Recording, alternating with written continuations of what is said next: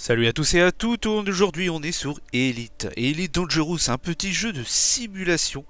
Donc c'est un, c'est un jeu hein, de simulation spatiale, de combat, de commerce et d'exploration interstellaire. Développé et édité par Frontier Développement, sorti en décembre 2014, financé en partie hein, sur la plateforme Kickstarter. Le jeu constitue la quatrième édition de la franchise initiée par le jeu Elite.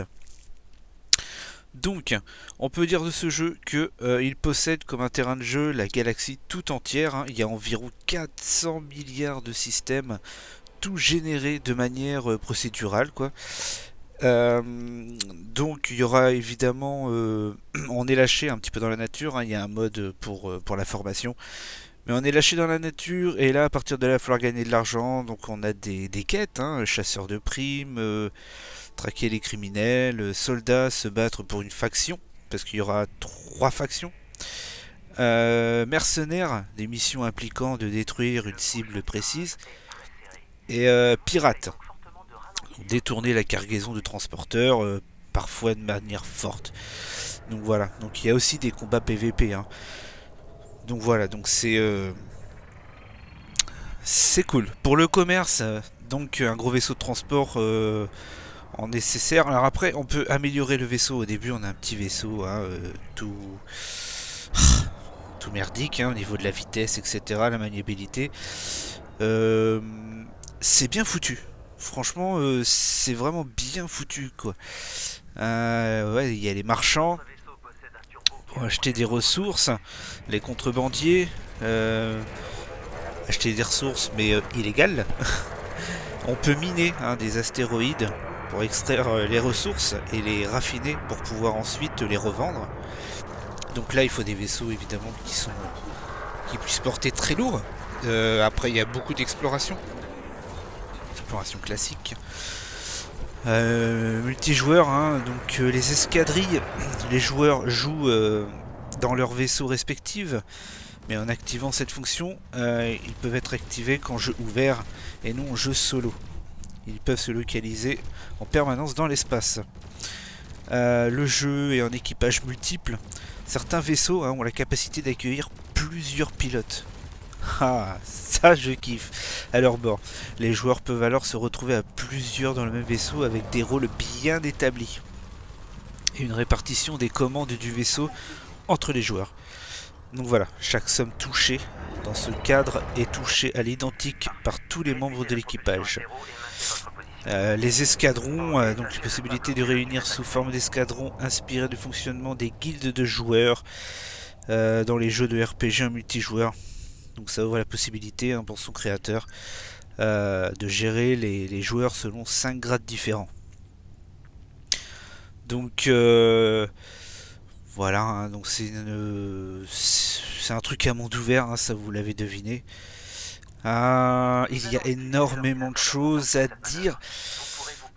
Mais on fera un petit gameplay. Hein, on fera directement un petit gameplay. Je pense que je pense que ça va être le top. Ça va être le top. Euh, par contre, voilà. Donc euh, moi, je me suis relancé sur le jeu. Ça fait peut-être deux ans hein, que j'ai. ça fait peut-être deux ans que j'ai pas remis les pieds dessus. Mais euh, voilà, je, voulais me remettre dessus tout simplement parce que euh, il y a une mise à jour qui est intéressante parce que ce qu'il faut savoir c'est que là on ne peut pas quitter le vaisseau, hein.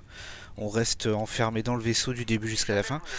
Il y a une mise à jour voilà, qui, a été, euh, qui a été annoncée où on va pouvoir sortir du vaisseau. par exemple là, hein, on voit que pour entrer dans une station il faut demander l'autorisation.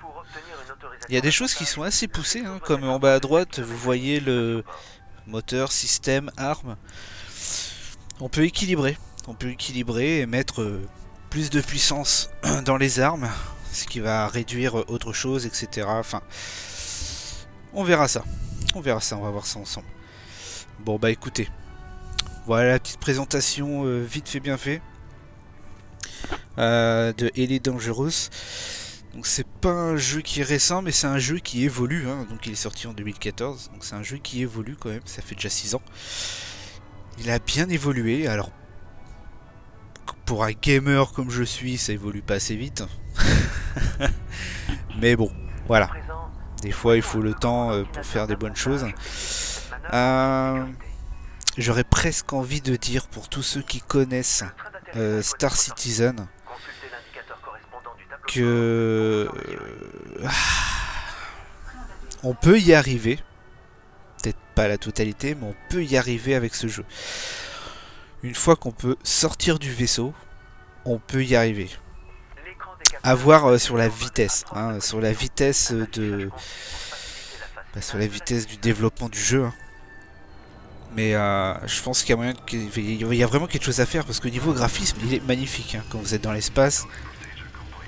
Le quand vous faites des, gros sauts dans l'espace, euh, c'est bien fait, les, planètes sont super bien faites. C'est euh, c'est assez sérieux, c'est propre. Enfin là, je sais pas si vous voyez, mais c'est assez propre, franchement. Donc, euh, très bon feeling. Bon bah écoutez, je vous dis à la prochaine. Pour me soutenir, je vous laisse le lien dans la description. Allez, bye bye.